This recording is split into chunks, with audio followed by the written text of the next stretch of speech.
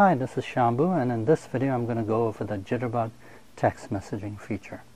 Now this feature uh, does not come activated on your phone so you do need to call up uh, Jitterbug customer service and ask them to activate it.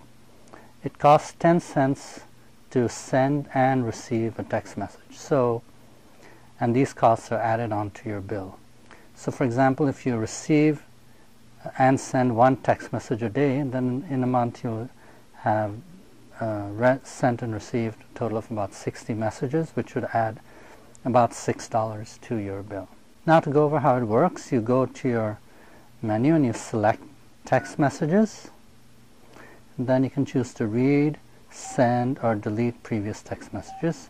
So if you want to choose send, you select select yes for send then you have the choice to create your own message, which and to do that you just start typing the, the corresponding letters on the buttons uh, for your text message as you would with uh, most phones.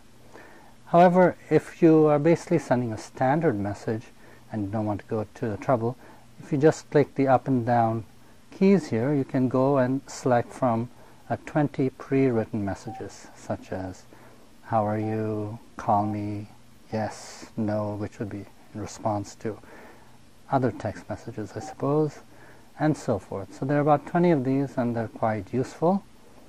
And uh, this is a nice one to send every day. And so, and then once you select it, you choose. Uh, you can choose from someone in your phone book. Here I've put in a test number, uh, or you can enter a number yourself and uh, send it on that way. Oops, you select yes, then you select whatever number you'd want. So for then when you're done, you press yes, and the moment you press yes, it sends the text message.